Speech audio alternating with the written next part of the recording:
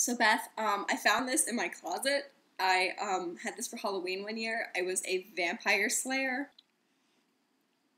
I don't know. if you can- Woo! Look at that. Mm, so pretty. So I just thought, oh, well, this kind of goes with the book. I don't know. I just felt like wearing it, not wearing something I normally wear. And look at the neck, it's all like druidy and stuff. Ooh. So I finished Son of the Shadows. Um, actually I, I thought it was a really good continuation of Daughter of the Forest. Um, as far as whether or not it's better or not, I don't know. I don't. I guess I didn't get into the story as much as you did. Um, I'm definitely going to read Child of the Prophecy because it's kind of like I need to find out what happens. So I'm probably going to mess up on Leaden's name because I keep on wanting to say Leandin um, when I put an N in there, or I want to say Leaden instead of Leaden. I don't know.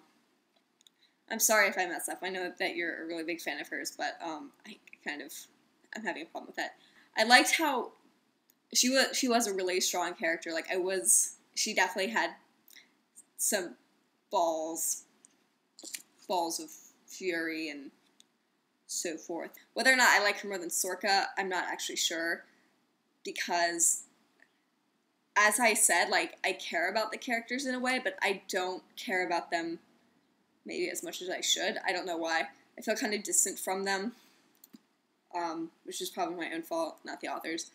So my favorite part, my favorite page in the whole book, I bookmarked it with one of your little things. It was still in the book. See, um, was page four twenty five. It's when Conor's talking about why um, Ciarán like didn't find out about his past, um, and how he had hoped he hadn't been found out. And I just thought he made some really nice points because I I did feel bad for Ciarán not knowing what his past and stuff was, but I understood why they didn't tell him. Kind of the you know your fate is sealed. Like if they told him, or maybe he would go after his mother.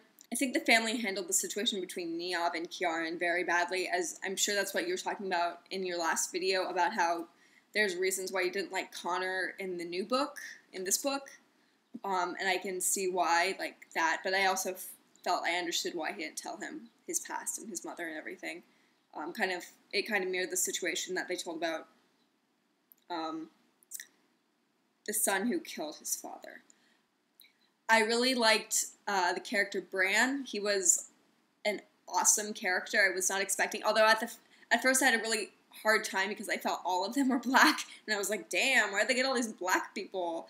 And I was like, "That's strange," because he was called the Painted Man, and so I thought he was black, and then you know had like maybe tattoos that were even more black than his skin, so that was confusing me. And I wasn't until you learn that Leaden is um, pregnant that I realized that, oh, wait, he's not black because that would have been a really big deal if he had been because, you know, the baby would have been obviously his. I mean, it was kind of already obviously his, but even more so. I see why you like this one more than Daughter of the Shadows, though, because this one, I really love all the scenes where they're in the camp um, with Dog and Snake and Gaul and everyone. Um, it's really a fun type of read. Whereas Daughter of the Forest, it's kind of her suffering through the whole thing and um, having to be quiet and being very internal. Whereas um, Leiden's rather external. So I, I really did like the camp scenes. I liked all the men. Wonder if they wore tights. The men in tights. Do do do do do do do do do do do do do. So, anyways, um, I'm intrigued to see what happens with the School of Outcasts. Um, that was probably my the most interesting part in the book. The part of the book that annoyed me, and it's a really small part, um, it's the fact that Red, and I know that's not his name in this book, but I don't want to say the other name, and I really think the name Red really suits him, is whenever he called Leaden sweetheart, and for some reason that really bothered me because I know a father says that to his daughter, like my dad sometimes calls me like pet names, but like it kind of bothered me since he didn't find a more unique name for her. I guess Juliet, um, the author, didn't decide to give him like a more unique nickname for her because she was such a unique character, and I didn't think Sweetheart was like I don't know. It's just such a common one. So, and he calls Sorcha Owl sometimes, and I think that would have, like, if he had found something like that, that would have been a lot better. I loved it whenever Liadan told a story. Um, it was always really interesting and really poignant. And she always moved quite quickly. Whenever Conor read a story, I would kind of half skim the page, like, kind of like, oh God, can we just shut the, uh, please? Because I actually, um, I told you at the end of the book, end of the last book and the beginning of this book, I wasn't a big fan of Conor. By the end of the book, I was a fan of Conor again because I feel like, yeah, he's a jerk and he makes mistakes, but he's really he really cares about his family, and he couldn't foresee the future of what would happen with Kiarden. He obviously did, like he really did think of him as a son, and I really thought that that was a great little guy byline. Um, so yeah, but still, whenever Conor would read a story, I just kind of like, god the Ciarán thing that he's related to them. Like you meet like Ciarán comes up, and this may just be because I read Daughter of the Forest like less than a week ago. But I was like, well, no shit, Sherlock. Like at the end of the book, I'm just like, since we met the, the moment we met him, that since the moment he came like to the page or whatever, I was like, um, that's your uncle. Like, that's your uncle because I think in Daughter of the Forest they say the son's name is Ciarán and they go after him. And I was just like, this is so obvious. Like, it was just really annoying because, like, I knew it, and I don't know if the reader's supposed to know. I, I'm guessing they would. Like, most readers would realize that. I wasn't expecting that Bran was Johnny's son.